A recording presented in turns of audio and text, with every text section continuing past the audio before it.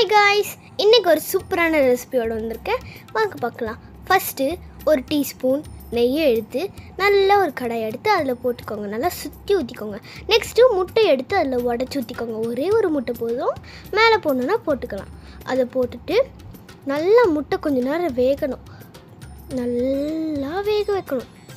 நல்லா வெந்த பிறகு கொஞ்சமாக சால்ட் கொஞ்சமாக பெப்பர் போட்டுக்கணும்.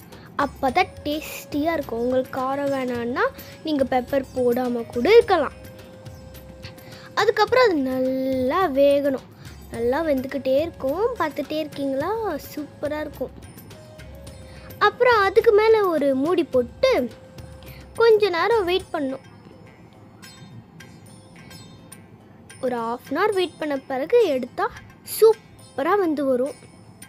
அதுக்கப்புறம் ஒரு பிளேட் எடுத்து அதை அது கூட எடுத்து வச்சு அப்புறம் மேலே மீன் குழம்பு கொஞ்சம் ஊற்றி என்ன குழம்பு இருந்தாலும் பரவாயில்ல. எங்கள் வீட்டில் மீன் குழம்பு தான் இருந்தது. ஸோ நான் மீன் குழம்பு ஊற்றிட்டேன் சூப்பராக பார்க்கவே சூப்பராக இருந்தது. நீங்கள் இந்த மாதிரி ட்ரை பண்ணி பாருங்கள் ட்ரை பண்ணிவிட்டு எப்படி இருக்குன்னு கமெண்ட்ஸில் சொல்லுங்கள் ஒரு வாய் எடுத்து வச்சா சாரு வேற